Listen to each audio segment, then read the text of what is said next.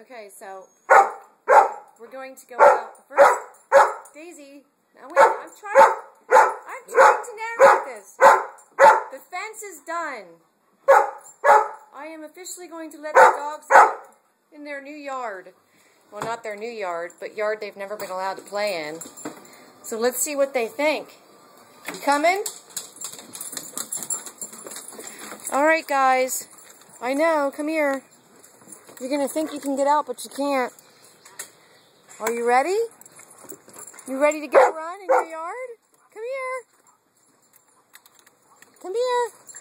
Go, run. Kipper, come on.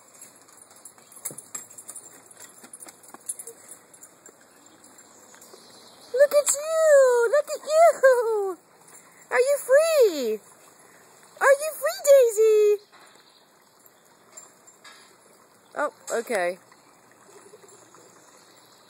Well, we have to do our business first. Yeah. I'll have no grass here either.